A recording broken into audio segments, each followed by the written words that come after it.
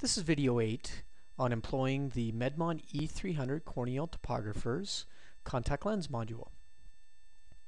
Let's open up a patient file, select a topography, click on Home, and then Contact Lens. When you first start out, select the manufacturers that are available from North America. You'll note the boxes presently checked are all the manufacturers available from North America that have put their contact lens designs into the Medmont. You can click OK.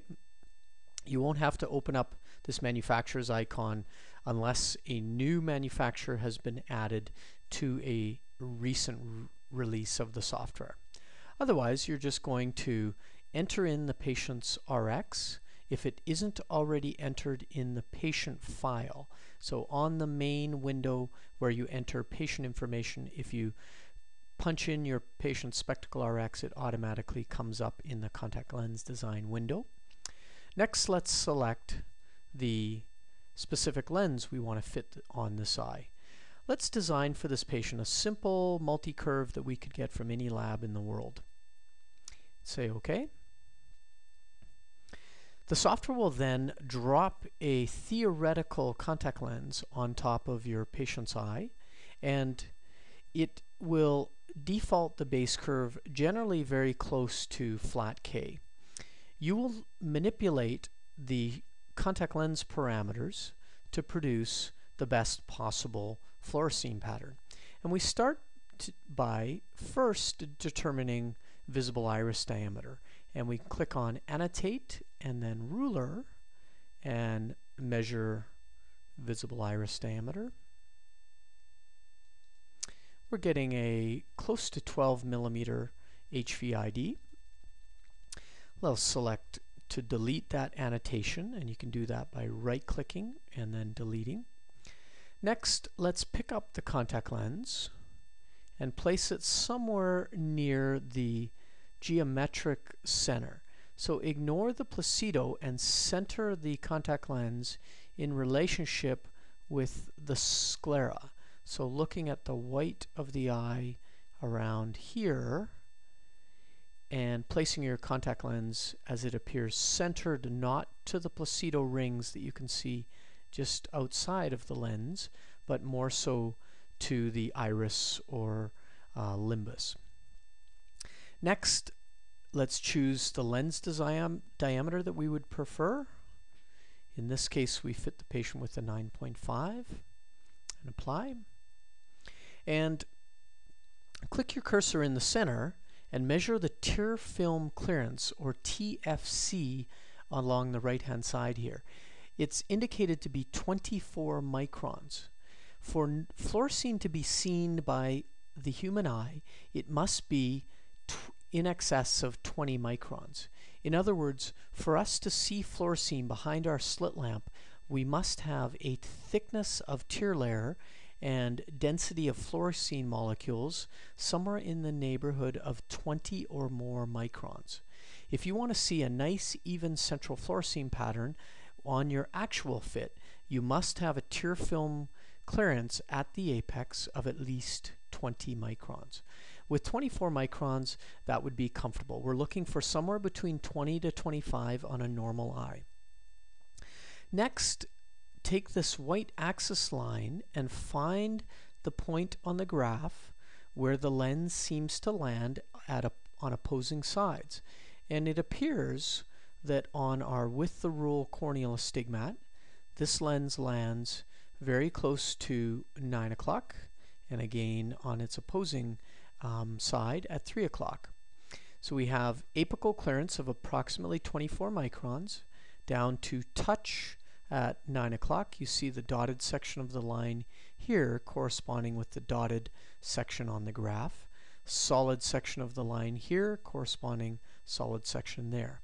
So we have our 24 microns apical clearance heading down to 3 o'clock we have our touch and then our edge lift our apical clearance toward 9 o'clock with our edge lift. So this is an ideal relationship to keep the lens on lateral center. Then we take our axis line and drag it to the vertical meridian. And we can see that this patient has a fair amount of tear layer clearance heading toward 12 and heading toward 6 o'clock. Dotted section of the line here corresponding with the dotted section of the line here.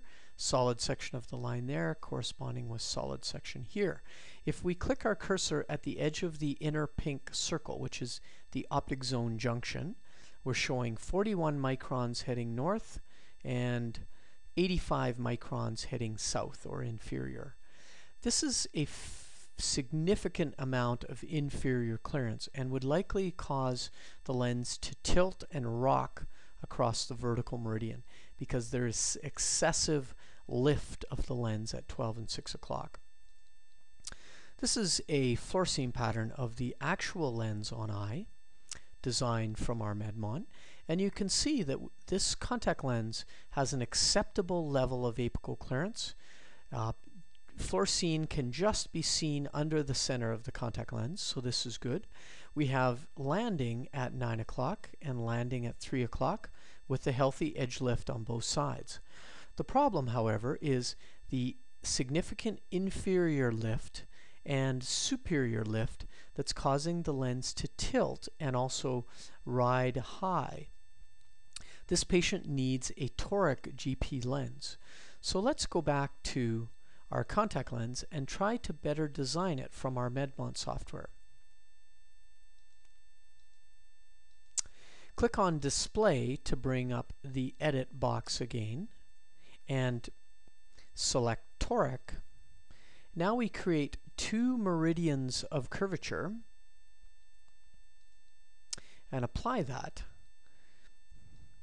The same rules apply to the toric contact lens. We want to create a lens that lands at 3 and 9 o'clock and lifts at 12 and 6 o'clock. Presently, our contact lens is not landing across the horizontal meridian. The horizontal meridian you can also see is our flat meridian by that blue line. So let's steepen the base curve along the flat meridian by a half diopter step. On the vertical meridian, we appear to be very near to bearing or definite bearing at 12 and 6. We want our contact lens to lift so it can freely move with each blink and create a good tear pump. So let's flatten the lens across the steep meridian so that our contact lens will be able to move with each blink. And click apply.